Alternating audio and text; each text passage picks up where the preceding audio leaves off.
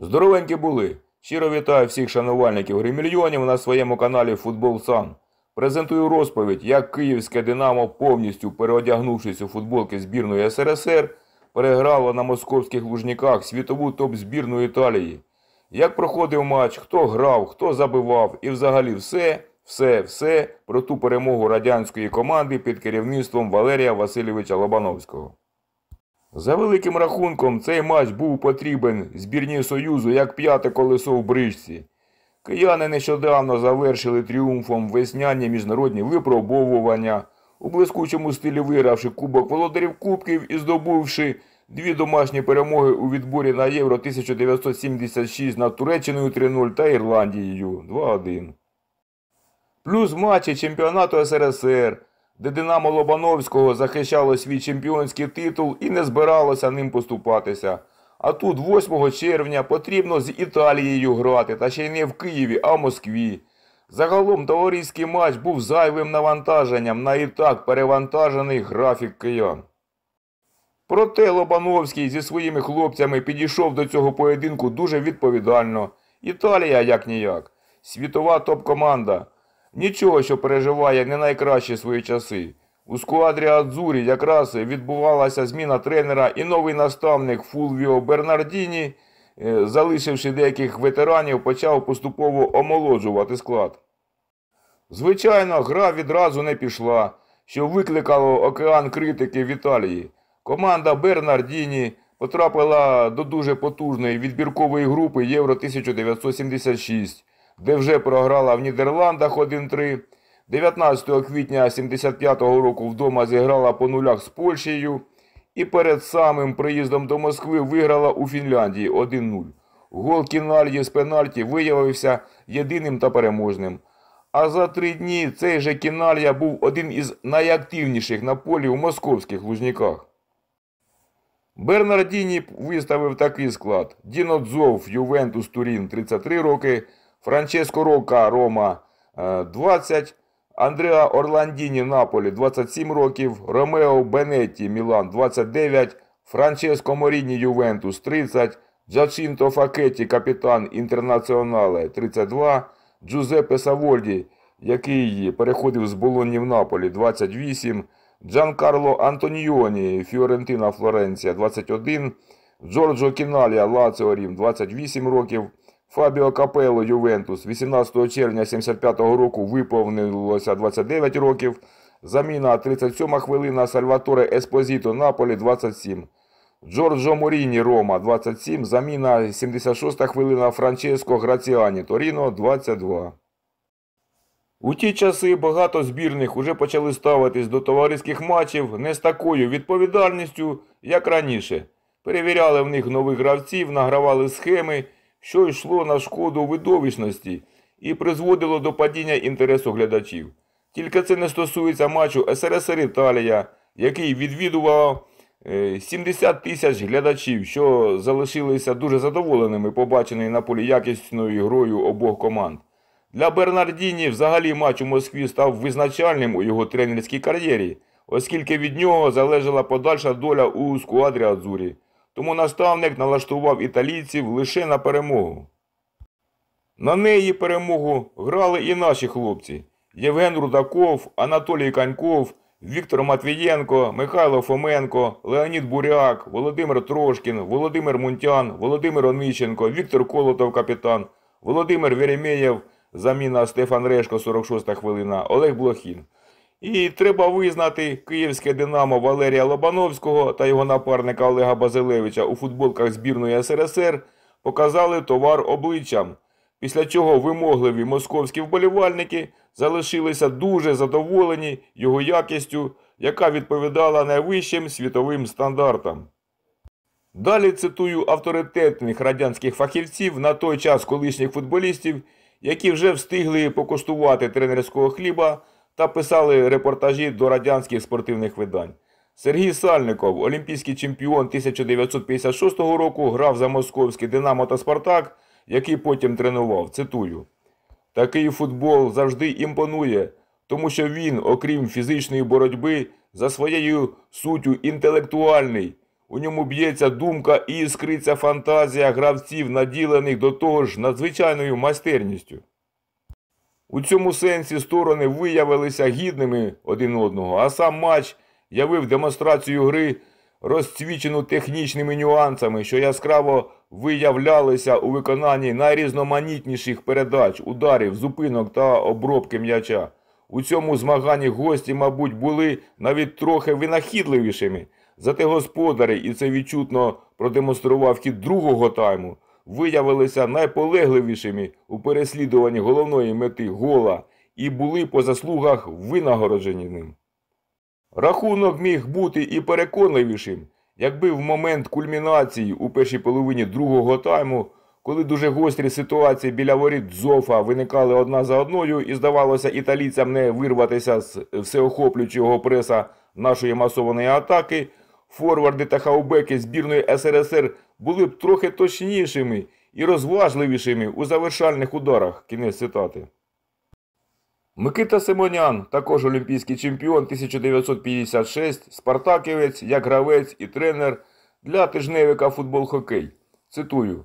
Формально обидві сторони дотримувалися схожих, якщо мати на увазі цифрові позначення тактичних побудов, бо виступали з квартетами хаубеків і дуетами форвардів.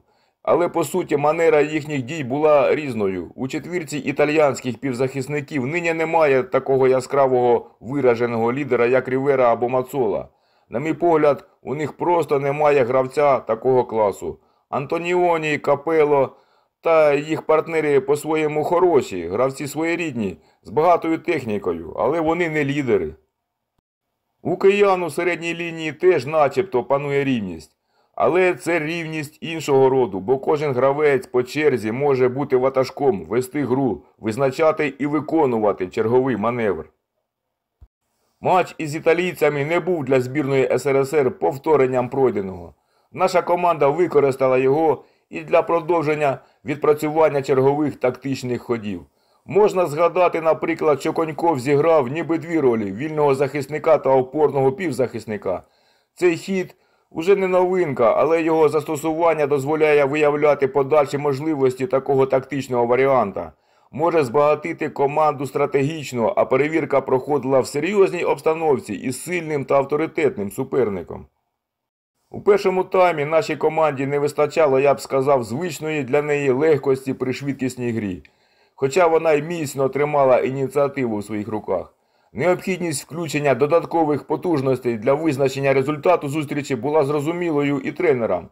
Вони зробили корективи у перерві і весь початковий період другого тайму пройшов уже інакше.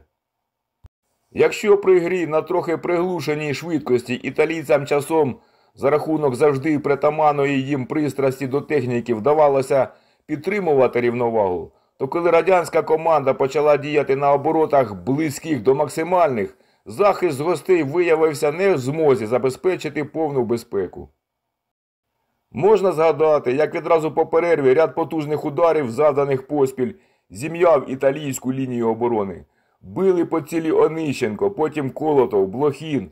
Нарешті ефектна комбінація Трошкін буряк Каньков і останній майже досяг успіху, бо м'яч після його удару відбила поперечина воріт. Те, що вихід Конькова на заключний удар не є випадковим, незабаром було засвідчено ще однією комбінацією буряк, мунтян, коньков. І воротар італійців Дзов уже нічого не зміг вдіяти. Гол, забитий коньковим, закріплює перевагу і перетворює її на перемогу. Ввечері після матчу мені довелося розмовляти з капітаном італійської збірної Факеті. І, звісно, я поцікавився його думкою. Факеті вважає, що наша збірна нині виглядає чудово, і прямо сказав, що він не надто засмучений програшем, бо до цього привели дії суперника, який виступав краще, який виглядав командою зігранішою, вмілішою, міцніше збитою. У нас багато молодих, і вони розгубилися, коли після перерви радянська збірна заграла в голландському ключі, а особливо після пропущеного м'яча, коли взаємозамінність ваших гравців зовсім уже збила з пантелику нашу молодь. Це Факеті говорив. Від себе додам, що в ті часи порівняння з голландцями, які подарували світу чарівну красу тотального футболу, було визнанням найвищої майстерності команди рівня світового топ-класу, якою і було Київське Динамо у футболках збірної Союзу. Продовжую цитувати Симоняна. Справді, після того, як було забито гол, радянська збірна продемонструвала ефектну форму взаємозамінності, той метод гри, з кваліфікованим виконанням якого ми, мабуть, ще не зустрічалися в інших наших командах. Згадайте, як пішов уперед Трошкін, а його позицію зайняв Онищенко, як так само став діяти Матвієнко, а на його місці по черзі з'являлися Колотов і Мунтян, які збили з пантелику суперника. Наша команда надалі скинула оберти. Звичайно, не можна вимагати від неї в товариських матчах діяти весь час на межі своїх можливостей, бо втома накопичена значна, якщо пам'ятати, що в неї залишилося позаду. Керівники італійської збірної відзначали після матчу, що їхня команда зіграла в Москві значно сильніше, ніж у Гельсінкі, а результат, на їхній погляд, свідчить про те, що радянська збірна виходить із кризового становища, а їх команда поки, незважаючи на енергійні зусилля, досі у ньому перебуває. Кінець цитати. Бернардіні, до речі, після поразки в Москві ніхто не звільняв з посади старшого тренера збірної Італії, тому що гра з куадри Адзури проти потужної радянської команди вселяла в серця італійців прихований оптимізм. Тож Фулвіо Бернардіні працював з головною командою своєї країни ще два роки і залишив цю посаду 1977-го. А я продовжую й надалі цитувати заслужених спартаківців, які висловлювали захоплення грою київського Динамо у футболках збірної СРСР. І знову слово Сальникову, який писав для найпопулярнішої спортивної газети світу Совєтський спорт. Цитую: Перемогою над такою командою ми маємо право пишатися. Нині чимало говорять і пишуть про благотворну співпрацю, яка встановилася між тренерами Велобановським та Обазелевичем і спортивною наукою. Все так. Плоди цього союзу очевидні. Функціональні можливості або, попросту кажучи, бігова та атлетична підготовка киян, які становлять основу збірної, зросли, і це втішно. Але це лише частина важливої роботи, одна її сторона, інша не менш важлива, суто творча частина, прерогатива та мистецтво лише тренерів. І про це не можна забувати. Важливо зрозуміти, е, куди до якого футболу звуть тренери своїх вихованців. І тут Велобановський та Обазелевич, представляючи наш футбол разом зі своїми гравцями на всіх рівнях, чи то в клубному турнірі Кубка Кубків, чи під прапором збірної країни, опинилися на висоті. Тлумачення гри киянами надзвичайно сучасне. У ньому є місце і гостроатакувальному футболу, і навмисне уповільненому розіграшу м'яча, який часом ставить у глухий кут, кут суперників, як це було, скажемо, у фіналі Кубка Кубків з Ференсфарошем. Подібні тактичні контрасти стали підвладні команді тому, що тренери самі тонко вловили суть нових відозмін, що торкнулися футболу останнім часом, і зуміли в цьому зв'язку правильно переорієнтувати своїх вихованців. Що ж, у добрий шлях. Кінець цитати. І збірна СРСР, яка у 1975 році означала Динамо Київ, у блискучому стилі виграє відбіркову групу Євро 1976, залишивши позаду Ірландію, Швейцарію та Туреччину. А на клубному рівні буде досягнуто ще однієї міжнародної вершини перемоги в Суперкубку Європи, де без питань буде обіграний дворазовий переможець Кубка європейських чемпіонів Західнонімецька Баварія із загальними 3-0. Всі три голи заб'є Олег Блохін. І за Мюнхенський отримає золотий м'яч найкращому гравцю Європи 1975 року, поодинці набравши очок більше, ніж Франц Бекенбауер, Йохан Кройф, Берті Фогтс і Зеп Майер разом узяті. Це був великий сезон київського Динамо. Саме його сезон 1975 я і вважаю піком, вершиною міжнародних успіхів та визнання як київського Динамо, так і всього радянського і українського футболу. Всім нам, українцям, мужності, твердості духа та терпіння. З вами був Санич. Зустрінемось.